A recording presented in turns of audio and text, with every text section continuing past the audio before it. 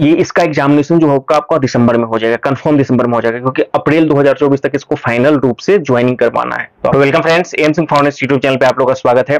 आज मैं बिहार दरोगा बारह का जो नया वैकेंसी आया है, इसके विभिन्न पहलुओं पर बात करूँगा। फॉर्म भरने से लेकर के एग्जामिनेशन फाइनल सिलेक्शन तक के प्रोसेस पर डिटेल से चर्चा करूँगा। लेकिन उससे पहले कुछ महत्वपूर्ण चीज़ों को आपसे अवगत करवाना चाहता हूँ।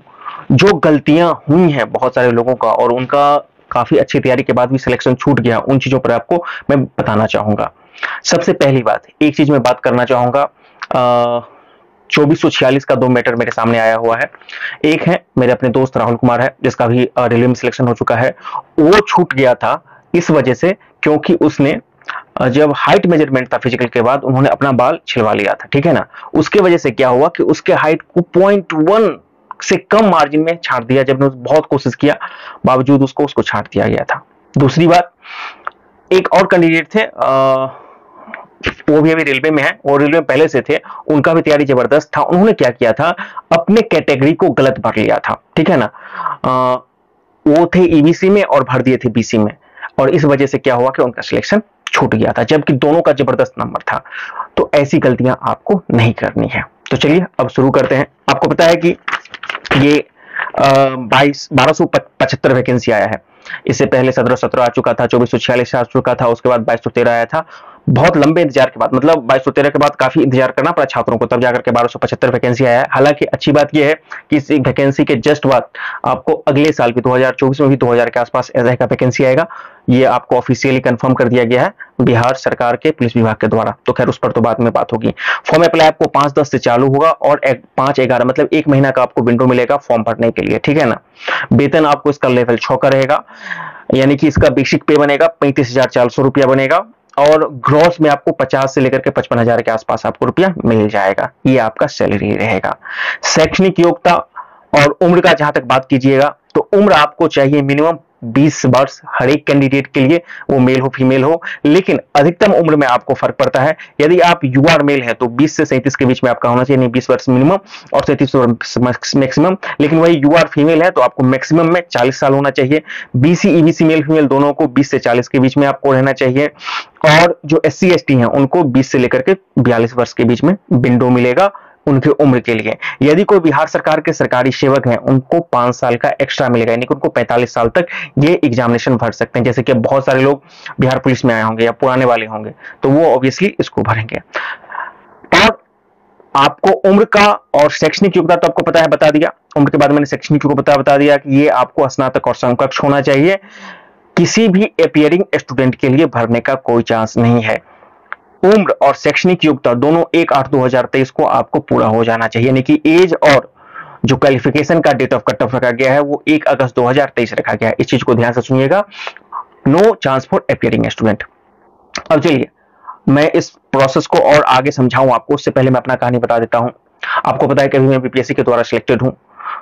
सप्लाई इंस्पेक्टर के पोस्ट पर सिलेक्टेड हूँ। और जिसको अमूमन जो मतलब घर में बोलचाल के भाषा में बोला जाता है एमओ एमओ बोला जाता है, ठीक है ना? फ़ूड और कंज्यूमर प्रोडक्शन डिपार्टमेंट का तरह। इससे पहले जब मैं टीचर था तो मैं भी अपने बेहतर पदोन्नति के लिए या बोल सकते हैं उच्चतर वेतनमान में जाने के लिए काफ़ी प्रयास करता था। 1717 में मेरा सिलेक्शन हो चुका था पीटी मेंस और मैं दौड़ में गया था, दौड़ में छूट गया था। उस वक्त दौड़ छह मिनट में होता था, ठीक है ना? मैं सारे छह मिनट में उसको पास किया था, लेकिन ऑब्वियसली छह मिनट के अंतर्गत आना था तो मैं फेल कर गया, क्योंकि मेरा स्पोर्टी एक्टिविटी से बहुत ज़्यादा झुकाव नहीं था तो नहीं हुआ। उसके बाद फिर चौबीस सौ छियालीस और बाईस सौ तेरह सारे की पीटी को क्वालिफाई किया। मेंस नहीं हो पाया था, लेकिन इस बीच मेरा जब बीपीएससी हो गया तो फिर उधर जाने की नौबत ही नहीं है तो कहने का मतलब जो पाँच साल का एक्स्ट्रा दिया गया सरकारी सेवा के लिए, बिहार सरकार में ये किया गया है कि आपको अब पाँच अटेम्प्ट दिया गया है, आपको उच्चतर वेतनमान में जाने के लिए, जैसे अभी बहुत सारे सिपाही के लोग होंगे, ठीक है ना? या फिर जो मतलब और भी मतलब कि विभाग के जो सरकारी सेवक होंगे, जिनका लेवल छ से कम होगा, वो ऑब्वियसली प्रयास कर सकते हैं इसमें जा सकते हैं उनको पाँच साल का। हालाँकि अभी तक बिहार सरकार के नियोजित टीचर को सरकारी सेवक का दर्जा नहीं मिला है तो वो पाँच साल के छूट में नहीं आ सकते। यदि उनका 20 से सैंतीस या 20 से 40 के बीच में आता है या 20 से बयालीस, बीस वर्ष के बीच में अंतर्गत आता है आता है, जिस कैटेगरी में वो है तो वो भर सकते हैं। तो मैंने अपना एक्सपीरियंस भी बता दिया तो मतलब बिहार पुलिस मेरे लिए बिल्कुल नया चीज़ नहीं है। मैंने इस पूरे प्रोसेस को देखा है। मेरे इधर से भी पाँच लोगों का हुआ है, सत्रह सत्रह में सत्यनारायण जी का हुआ था। अभी वो एसएचओ के पद पर है और एसएचओ का पद भी होना अपने आप एक बहुत बड़ा प्रेस्टीज का चीज़ है कि एस आप बन गए, बहुत बड़ी चीज़ है। फिर चौबीस से प्रमोद जी का हुआ था, रोहित जी का हुआ था, बाईस से मिथिलेश जी का हुआ था, कमलेश जी का हुआ था तो ऑब्वियसली एक सिलसिला है, अपना लोग आते रहते हैं। अब देखना है कि बारह में कितने लोगों का होता है, क्योंकि इस वैकेंसी में टफनेस बहुत बहुत ज़्यादा होने वाला है। बाईस सौ तेरह का मैं पीटी दिया था क्वालिफाई भी किया था तो उसके भी पीटी का कट मतलब जो कट ऑफ़ कम गया था और क्वेश्चन का लेवल काफ़ी ज़्यादा था तो उस पर भी आएँगे, बात करेंगे। पहले कुछ और महत्वपूर्ण चीज़ देख लेते हैं। हाइट हाइट कितना होना चाहिए तो एक सौ पैंसठ सेंटीमीटर होना चाहिए। किसके लिए? मेल के लिए। आप युवा मतलब जनरल कैटेगरी के हैं और बीसी कैटेगरी के मेल है तो आपको एक सौ पैंसठ सेंटीमीटर हाइट मिनिमम चाहिए। मैंने राहुल जी का एग्ज़ाम्पल दिया था कि उनका बहुत शानदार फ़र्स्ट क्लास सब कुछ था। अंत में उन्होंने क्या गलती की थी कि फ़िज़िकल दौर से 10 या 15 दिन पहले अपना बाल करवा लिए थे मतलब बाल को पूरा क्लीन करवा लिए थे, ठीक है ना? अब बाल क्लीन करवा लेते हैं तो ऑब्वियसली ये चीज़ आप ध्यान रखिएगा, ये गलती आप नहीं कीजिएगा। मैं इन गलतियों को यहाँ पे इसलिए कह रहा हूँ, जब आपका मेंस हो जाए और फ़िज़िकल का लगे कि आपका होने वाला है तो ऑब्वियसली मेंस के बाद तो फ़िज़िकल के लिए आपको बुलाएगा मेरिट तो बाद में बनता है। तो ये गलतियाँ आप बिल्कुल नहीं कीजिएगा, ठीक है ना? कि बाल छिलवा लें या कर ले, जितना बाल लंबा लगने दीजिए ना क्या दिक्कत है? कुछ ना कुछ तो आपको फ़ायदा ही हो जाएगा। तो वो चीज़ नहीं करना है। तो एक चाहिए आपको, किसके लिए चाहिए? यू और बीसी मेल के लिए चाहिए। एक सेंटीमीटर चाहिए, जो ईबीसी e मेल है। S C S T male है, उनको 160 सेंटीमीटर का हाइट चाहिए और जितने भी कैटेगरी की महिलाएँ हैं, उसको मात्र 155 सेंटीमीटर का हाइट चाहिए। तो ये आपका हाइट हो गया। सीना आपको सिर्फ़ पुरुषों को फुलाना होता है, महिलाओं को नहीं फुलाना होता है। सीना में आपको इक्यासी चाहिए आपको नॉर्मली बीसी ईबीसी और यूआर मेल के लिए और फुलाने के बाद पाँच सेंटीमीटर छियासी और एस सी एस टी के लिए सेवेंटी नाइन सीना में बहुत कम लोगों को छाटा जाता है। अब rare of the rarest case होगा जिसको सीना में छाटा गया था, चौबीस सौ छियालीस में या बाईस में उसको छाटा गया था। वो बहुत ही रेयर केस होगा। नहीं तो सीना हमको लगता है सब लोग कर लेते हैं। सीना पर बहुत ज़रूरी अभी सोचने की ज़रूरत नहीं है। वज़न भी आ जाइए। वज़न पुरुषों का नहीं होता है, सिर्फ़ महिलाओं को होता है। उसमें अड़तालीस किलो आपको महिलाओं का वज़न चाहिए। तो ये हो गया। अच्छा थर्ड जेंडर भी इस बार इंक्लूड किया। तो थर्ड जेंडर के जो भी शारीरिक या शैक्षणिक मापदंड होंगे, खासकर शारीरिक मापदंड, वो महिलाओं के जो भी होंगे, उसके लिए हो जाएगा। ये तो हो गया आपको हाइट के बारे में। इतना आपके पास हाइट होना चाहिए और गलतियाँ आपको नहीं करना, जो मैंने आपको बताया था। ऑल गर्ल्स या ऑल फीमेल के लिए 155 सेंटीमीटर हाइट चाहिए। फ़िज़िकल पर उसके बाद सीधे आ जाते हैं आपको 1600 मीटर का दौड़ पार करना है छ दशमलव तीन ज़ीरो मिनट यानी साढ़े छह मिनट में हर एक लड़कों के लिए। चार फीट का हाई जंप लेना है। अच्छा चार फीट का हाई जंप में बता दूँ मैं कि चौबीस में तो वो टाइगर जंप और वो जो गल्टी मार करके पेट के बल करते थे वो कर दिया। बाईस में बैन कर दिया। इस वजह से भी बहुत सारे लोग फेल कर रहे थे। तो मेरा अपना ये कहना है कि सीजर जंप जो होता है, उसका ही आप प्रैक्टिस कीजिएगा, ठीक है ना? क्योंकि वो सर्व जगह मान्य है। बाईस में इसको सेट बैन कर दिया था टाइगर जंप को। बाईस सौ तेरह चौबीस सौ छियालीस किसी में बैन किया था, काफ़ी बवाल हुआ था, ठीक है ना? तो खैर, उससे पर भी अभी से जब प्रैक्टिस कीजिएगा, यदि आप साथ साथ कीजिएगा तो सीजर सीजर जंप का तैयारी कीजिएगा, जो दोनों पैर को एक बार आगे पीछे करके, एक पैर को आगे पीछे करके जो कूदते हैं, वो वाला कीजिएगा। तो 1600 मीटर आपको साढ़े छह मिनट में दौड़ना है, चार फीट आपको हाई जंप करना है, बारह फीट का आपको लॉन्ग जंप करना है, ये सब मैं लड़कों के लिए कह रहा हूँ, और सोलह पाउंड का गोला आपको सोलह फीट करना है। चूँकि इस बार सार्जेंट का है नहीं तो सार्जेंट का था सोलह फीट का गोला बीस सोलह पाउंड का गोला बीस फीट फेंकना था तो इस बार तो बारह सौ पचहत्तर सब दरोगा ही है तो एक ही तरह का है तो उसमें कोई दिक्कत की बात नहीं है। ये आपको मेल कैंडिडेट के लिए होगा। फीमेल कैंडिडेट के लिए एक किलोमीटर दौड़ना है, छह मिनट में। नौ फीट का लंबा जंप कूदना है और तीन फीट का हाई जंप कूदना है और बारह पाउंड का गोला जो है आपको दस फीट फेंकना है। तो ये लड़कियों का हो गया और लड़कों का हो गया। फ़िज़िकल हो गया, मैंने हाइट बता दिया। अब आ जाते हैं कुछ और महत्वपूर्ण बातों पर। देखिए, अब जो मैं आपको बताऊँगा सिलेबस और तैयारी की चर्चा सबसे अंत में करूँगा। जो चीज़ें आपको नहीं करनी है, दरोगा बहुत ही सेंसिटिव एग्जामिनेशन होता है फॉर्म भरने से लेकर के अंतिम तक। यदि फॉर्म में आपको कहीं कुछ मार्क आ गया, कहीं कुछ छूट गया, वो आपको सीधे बाहर कर देता है यहाँ पे। बीबीएससी या बीएसएससी में तो थोड़ा तो आपको लिबर्टी मिलता है, लेकिन यहाँ पे नहीं मिलता है। कैटेगरी में गलती नहीं करना है। कैटेगरी में आप गलती कीजिएगा, आपका अभ्यर्थी रद्द हो जाएगा। मान लीजिए आप जनरल के हैं, आपने भर दिया बीसी ईबीसी या आप बीसी के हैं ईबीसी भर दिया ईबीसी के हैं बीसी भर दिया, आपका अभ्यर्थी रद्द कर दिया जाएगा। ऐसा एक केस है चंदन जी के बारे में बताऊँगा। मैंने अभी पहले भी बताया था कि उनका बहुत शानदार एक्सपीरियंस था, लेकिन वो कैटेगरी वो आते थे ईबीसी में और उन्होंने भर दिया। जस्ट बिकॉज़ उनके टाइटल में गलती हो गया। वो महतो महतो नॉर्मली यहाँ कुशवाहा होता है। हालाँकि मैं किसी के मतलब की पर्सनली थी, पर आक्षेप नहीं कर रहा हूँ। एक चीज़ में एग्ज़ाम्पल बता रहा हूँ। महतो टाइटल अमूमन बिहार में कुशवाहा लगाते हैं। लेकिन वो भी अपना महतो टाइटल लगाते थे, उन्होंने पूछा नहीं था और उन्होंने भर दिया बीसी ही भर दिया। लेकिन वो आते थे एक्चुअली में ईबीसी में। तो उनका भी रद्द हो गया। बहुत रोए थे। बहुत कोशिश किए थे, लेकिन उनका वो नहीं हो पाया था। तो मैं ये बताना चाहूँगा कैटेगरी में गलती नहीं करना है। जो भी कैटेगरी का रिजर्वेशन लेना चाहते हैं, ठीक है ना? ये चीज़ ध्यान में रखिएगा। बहुत इस चीज़ को देखना है। बीएसएससी बीपीएससी में आप क्या होता है कैटेगरी गलत कर देते हैं तो यदि आपका अच्छा मार्क होता है तो आपको जनरल में काउंट कर लेता है, लेकिन बिहार दरोगा में नहीं करता है। बीपीएसएससी का जो भी एग्जामिनेशन है, बिहार पुलिस अवर सेवा आयोग का, उसमें आपको काउंट नहीं करेगा तो कैटेगरी में गलती नहीं होना चाहिए। जिस कैटेगरी का दावा करते हैं, उसका सर्टिफिकेट आपको पेश करना पड़ेगा।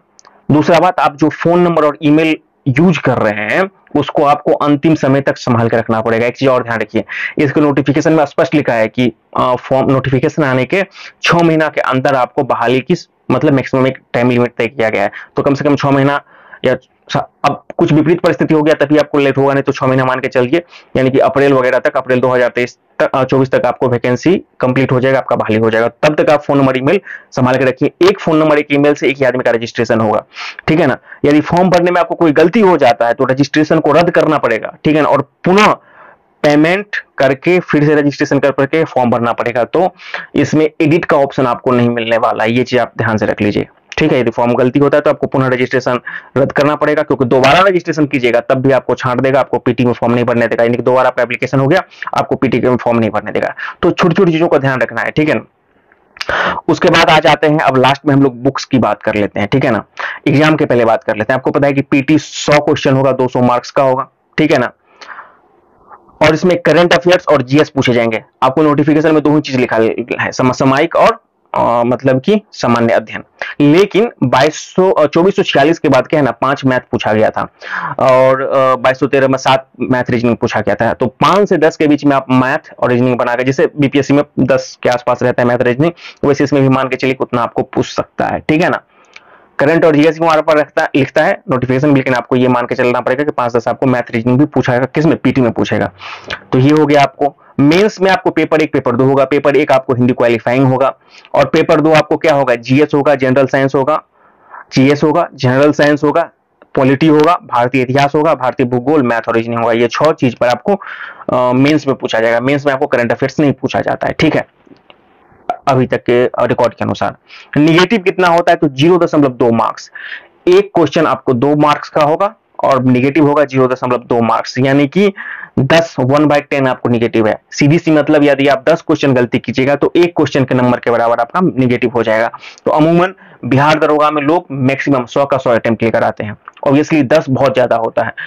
आ, मतलब आपको लेना ही पड़ेगा अटेम्प्ट ठीक है ना? तो ये चीज़ें हैं। तो ये आपका सिलेबस हो गया। अच्छा सर्टिफिकेट की बात है। सर्टिफिकेट जैसे बीपीएससी और बीएसएससी में क्या होता है कि पीटी फॉर्म भरने के लास्ट डेट से पहले का बनाना होता है, उसकी बाध्यता इसमें नहीं है। बीपीएससी बीपीएसएससी यानी कि बिहार सेवल में उसकी बाध्यता नहीं है। आपके पास अभी वर्तमान में है तो बनवा लीजिए, अच्छी बात है। नहीं तो आप करंट भी बनवा सकते हैं, कोई प्रॉब्लम नहीं है।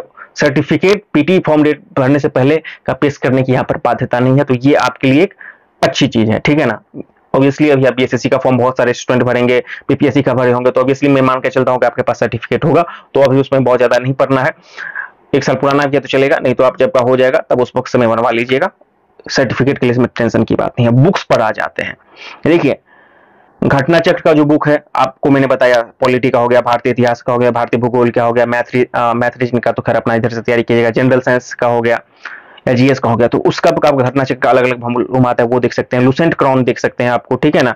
बीपीएससी के पीटी के जो प्रीवियस ईयर क्वेश्चन पूछे गए हैं, वो आप देख सकते हैं, जो बिहार एस के अभी तक पीटी में के जितने प्रीवियस ईयर क्वेश्चन है एक्सेप्ट आपको करंट अफेयर शूट करके, वो देख सकते हैं, और इसके साथ रेलवे का एसपीडी आपको खासकर जो मेन्स में बहुत ही कारगर होने वाला है, ठीक है ना? तो ये चीज़ आपको है। अभी से आप समग्र के रूप में लेकर पढ़ाई तैयारी करें, ठीक है ना?